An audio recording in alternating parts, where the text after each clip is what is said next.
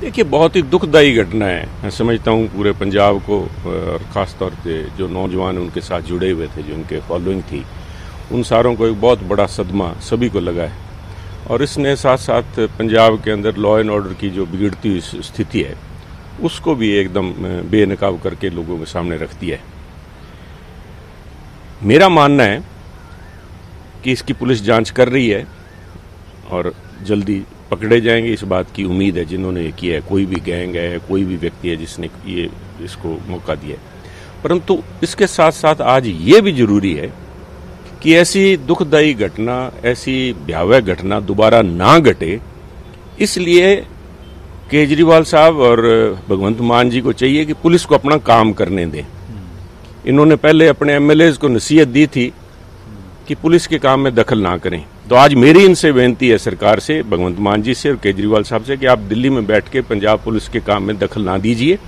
Punjab police को अपने तौर पे सभी जिन लोगों की सिक्योरिटी विड्रॉ की गई है या नहीं की गई है, एक नए सिरे से professional non political unbiased threat assessment उनकी की जाए।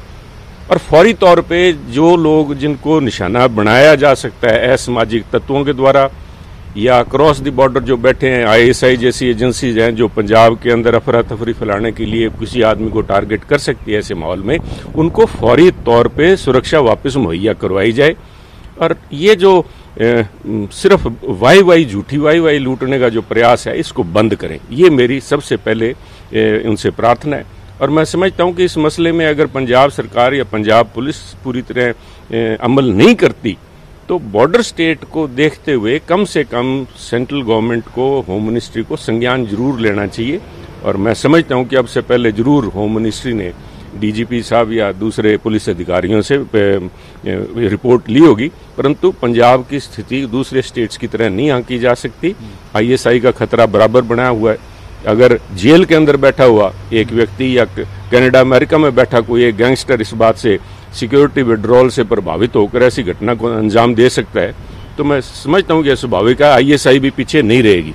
इस बात के मद्देनजर जो भी पब्लिक फिगर हैं, और खास तौर से सामाजिक और धार्मिक संस्थाओं से जो मुखी हैं, उनको फौरी तौर पे सुरक्षा मुहैया करवाई जाए, और बाकी सबकी जो थ्रेट असेसमेंट है, नए सिरे से प्रोफेशनल तरीके से की जाए। आपको लगता है कि जिस तरह से पब्लिसाइड किया गया, किसको कितनी गार्ड थे, कितना वापस लिया गया ये भी एक बहुत बड़ा लगा और इससे खतरा है। आप जैसे लोगों आपके भी लिया गया वापस। देखिए मेरे से या किसी व्यक्ति विशेष से ले लेना कोई मायना नहीं रखता पर कई ऐसे शख्सियत हैं जिनको इस बात का लगातार खतरा बना हुआ है और जो एक इजी टारगेट जिसे बोलते हैं सामाजिक अफरा तफरी के लिए इजी टारगेट हो सकते हैं सामाजिक तत्वों के लिए आईएसआई के लिए। उनको फौरी तौर पे सुरक्षा प्रोवाइड करवानी चाहिए।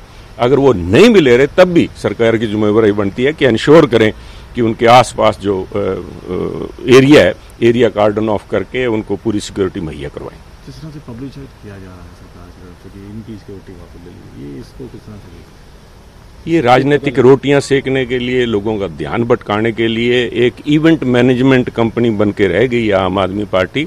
सरकार चलाने की तरफ़ ध्यान दें और they should practice what they preach वो कहते हैं ना, आप मियाँ औरों को नसीहत और आप मियाँ फजीयत।